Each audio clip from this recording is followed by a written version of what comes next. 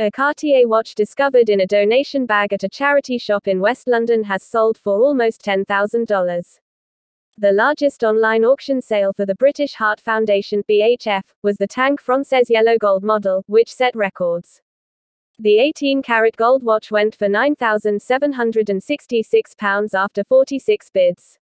It was discovered at a store in Hounslow, and its authenticity was confirmed at the BHF's eBay warehouse in Leeds.